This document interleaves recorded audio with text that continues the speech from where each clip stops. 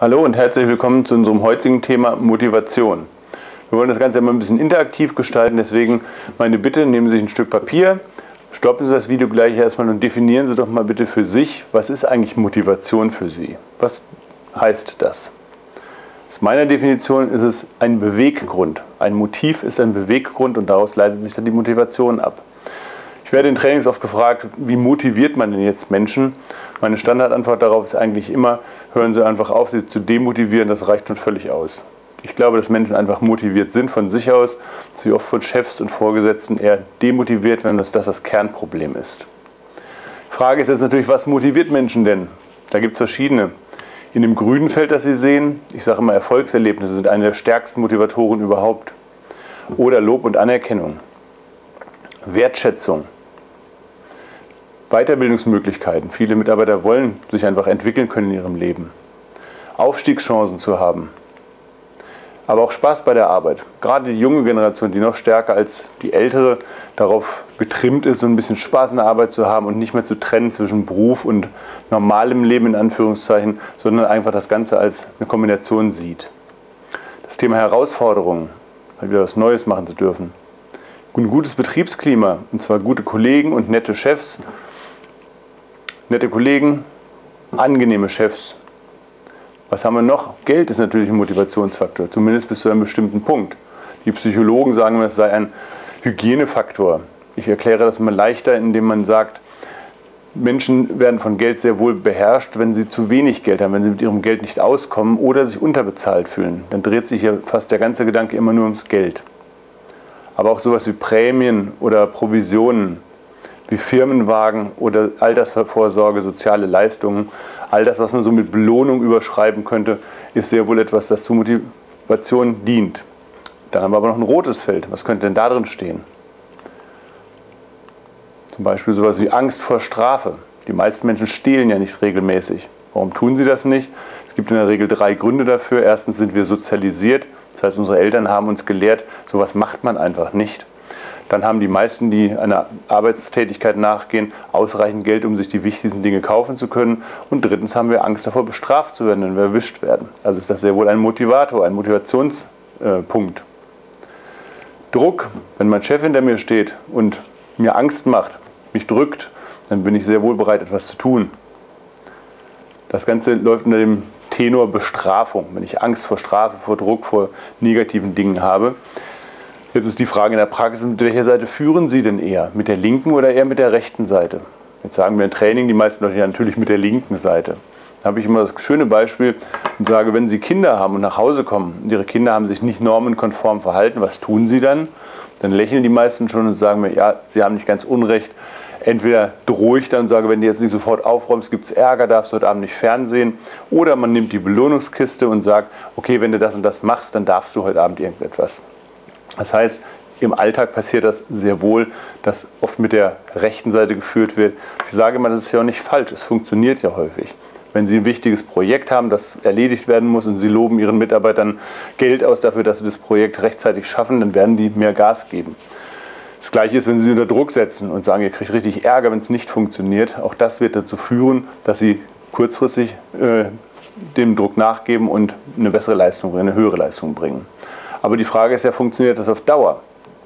Und dazu gibt es ein ganz einfaches Modell, wie man Verhalten von Menschen gut erklären kann. Wir haben nämlich immer ein Motiv, das über ein Verhalten zu einem Ziel führen soll. Sie können sich dieses Verhalten, dieses Band wie ein Gummiband vorstellen, das die beiden verbindet. Nehmen wir mal ein Beispiel. Mein Motiv ist Hunger. Was ist dann das Ziel?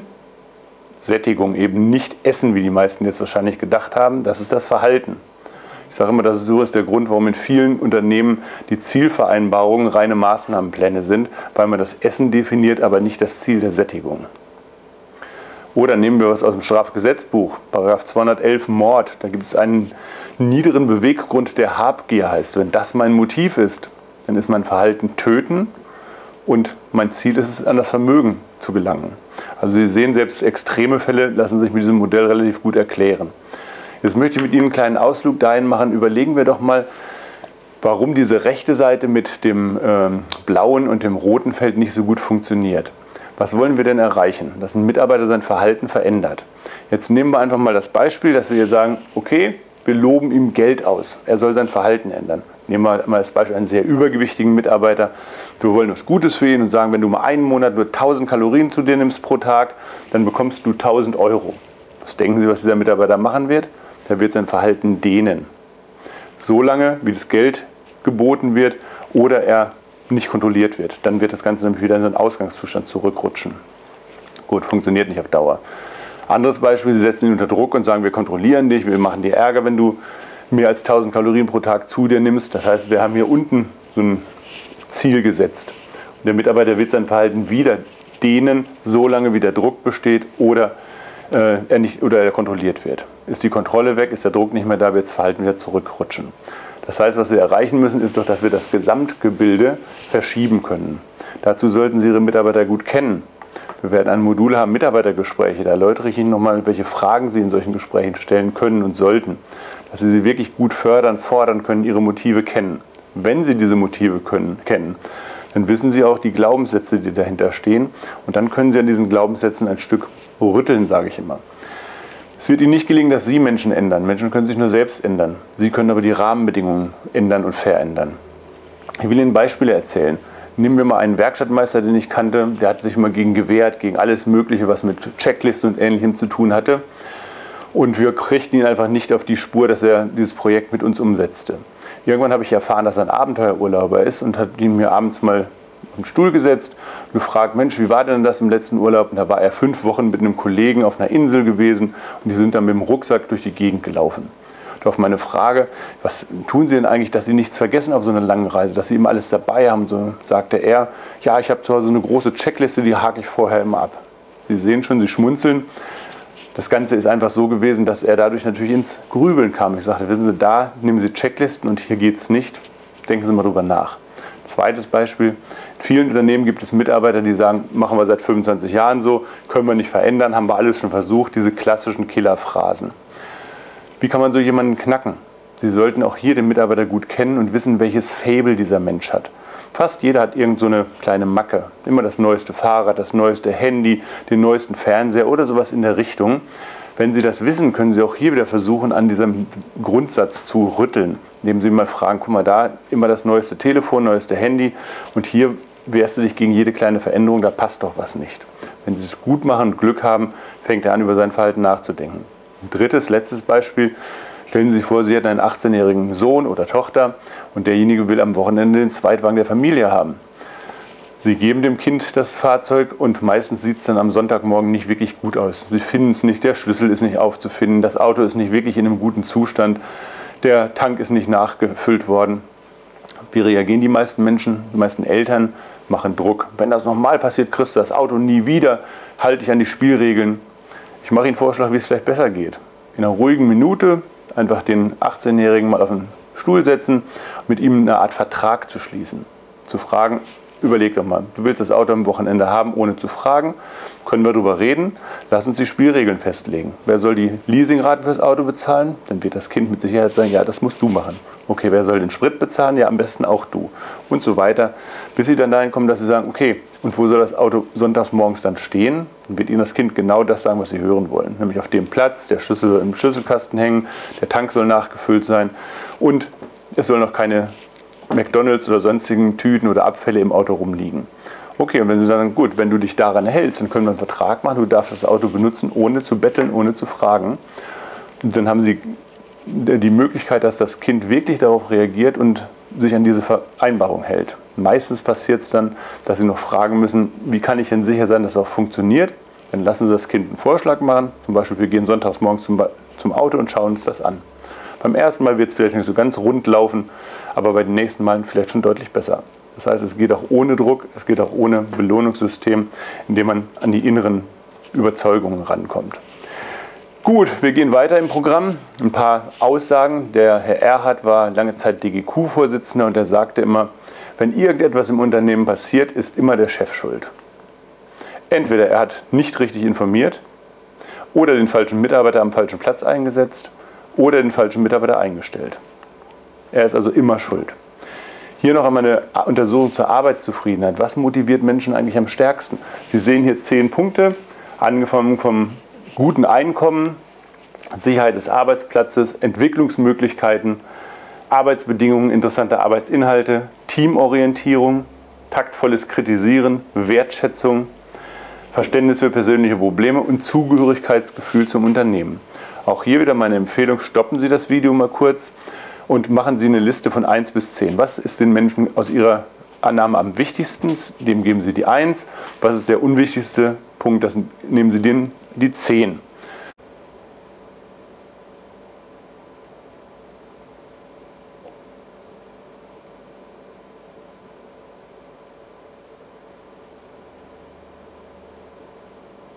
Ich löse es jetzt auf. Die 10 ist das Thema taktvolles Kritisieren und Disziplinieren. Die 9 sind die Arbeitsbedingungen. Auf 8 steht Teamorientierung. Auf Platz 7 haben wir die Entwicklungsmöglichkeiten, also Beförderung, Karriere. Auf Platz 6 interessante Arbeitsinhalte.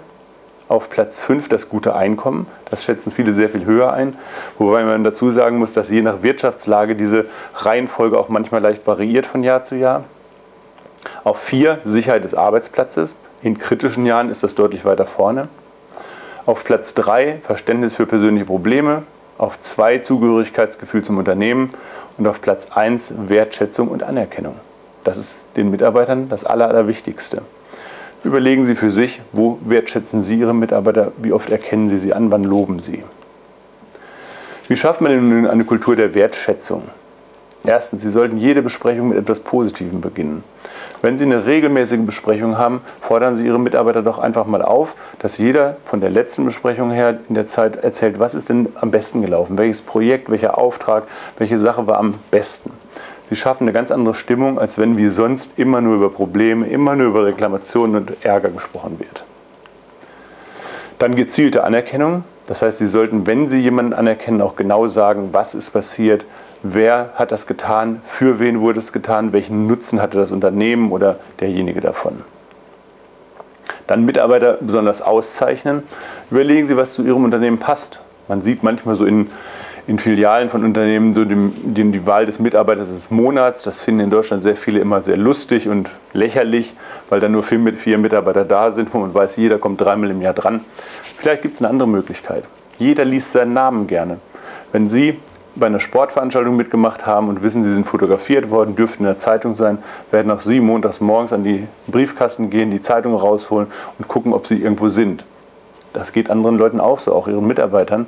Also wenn Sie einen Aushang haben, ein schwarzes Brett, vielleicht eine Hauszeitung, schauen Sie doch mal, ob Sie diese Gelegenheit nutzen können und wollen. Was gibt es noch? Eine Danksagung nach Hause schicken. Wenn Sie zum Beispiel ein Projekt haben, wo ein Mitarbeiter sehr stark belastet ist mit Überstunden, vielleicht zu Hause schon mal Krach gehabt deswegen, dann tun Sie doch etwas. Schicken Sie der Ehefrau oder dem Ehemann, je nach Mitarbeiter, einfach mal einen Blumenstrauß oder eine andere Anerkennung und bedanken sich dafür, was da getan wurde. Gut, wenn wir uns mal diesen Fluss ansehen, das ist der Rhein, das Mittelrheintal, dann sehen Sie, dass der so vor sich hin meandert. Und da drin sitzen Blöcke. Diese Blöcke behindern den Fluss beim Fließen. Und das Ganze soll ja die Motivation darstellen, als Sinnbild. Was sollten jetzt Führungskräfte tun, damit die Motivation besser wird, dass der Fluss besser fließt? Na klar, sie sollten die Blöcke rausholen. Was passiert nun meistens leider, dass die Führungskräfte die Blöcke noch verstärken, noch mehr Blöcke reinsetzen, noch mehr Kontrollen, noch mehr Gängelei der Mitarbeiter. Gute Führungskräfte tun das Gegenteil. Die holen einen Block nach dem anderen raus und sorgen dafür, dass der Fluss immer besser fließt und die Motivation besser wird. Gut, hier nochmal die Frage, was motiviert Menschen? Noch wichtiger ist zu wissen, was Ihre Mitarbeiter demotiviert. Wie kann man das erfahren? Ganz einfach. Fragen Sie sie einfach. Gibt es irgendetwas, das sich demotiviert? Gibt es etwas, das sich hindert, deine, deine Leistung zu bringen? Erfragen Sie es einfach und sorgen Sie dafür, dass diese Dinge auch wirklich vermieden werden.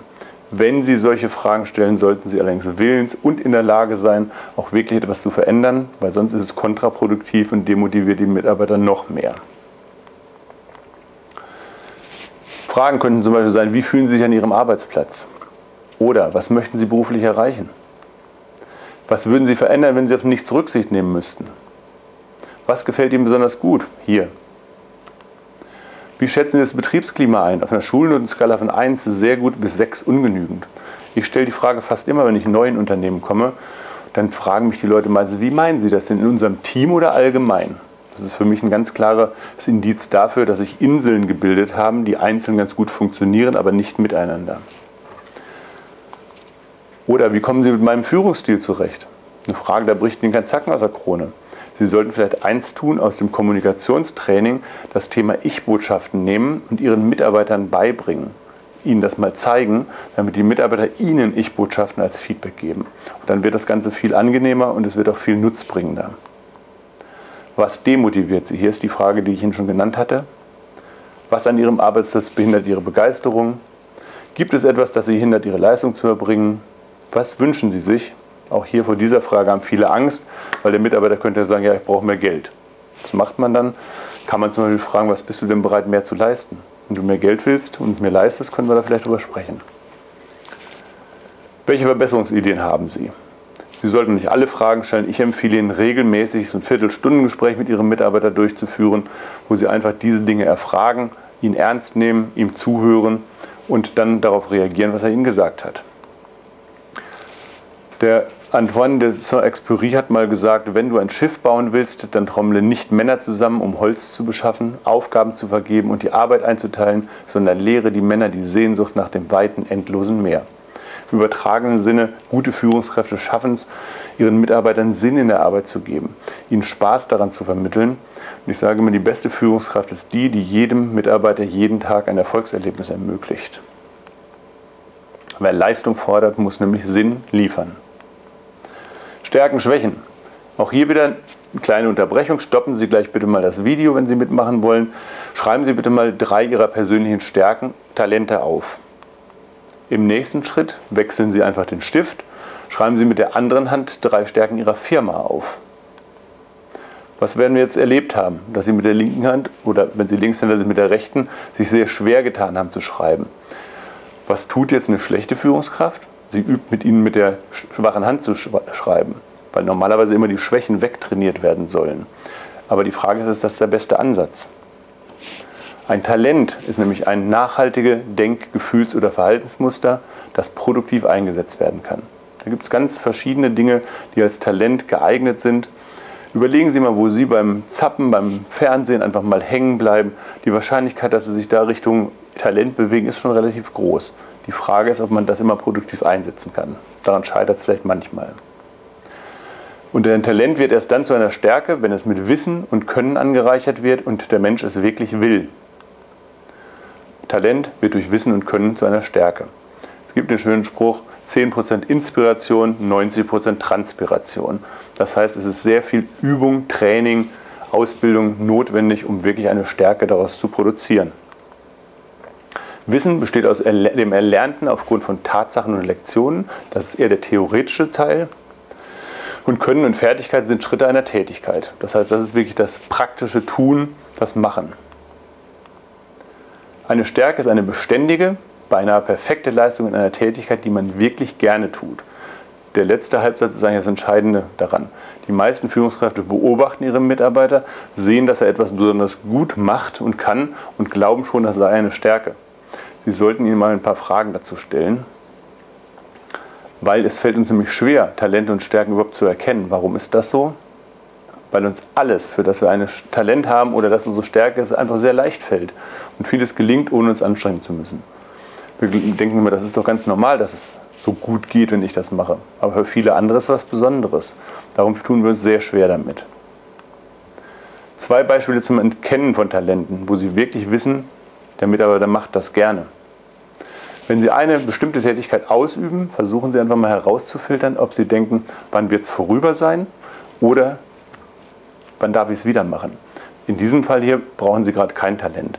Das heißt, wenn ein Mitarbeiter etwas besonders gut macht, aber froh ist, wenn es rum ist und hoffentlich nicht so bald wieder machen muss, ist das keine Stärke, weil er es nicht gerne macht.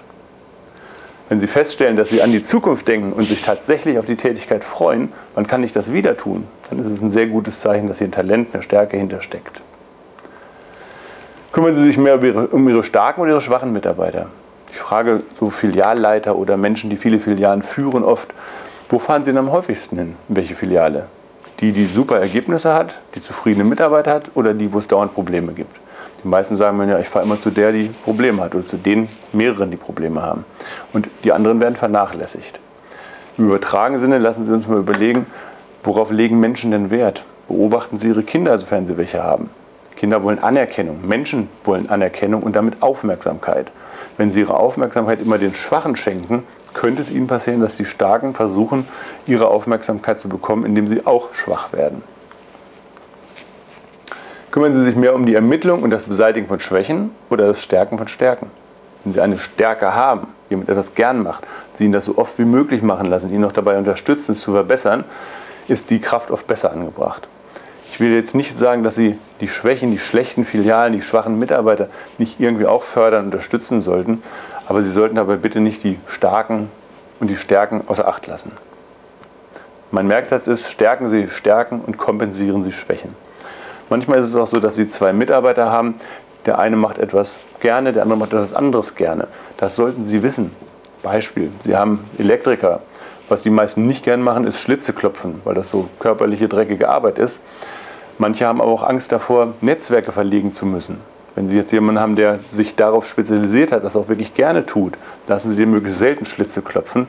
Und den anderen, der sagt, das macht mir nicht so viel aus, Hauptsache ich muss keine Datenkabel verlegen, der sollte vielleicht eher die Schlitze klopfen. Also auch hier stärkenorientierter Ansatz ist das Richtigere. Vielen Dank für Ihre Aufmerksamkeit. Sie sehen meine Erreichbarkeiten. Wenn Sie mich erleben möchten, kennenlernen möchten, rufen Sie mich bitte einfach an, schreiben Sie mir eine E-Mail.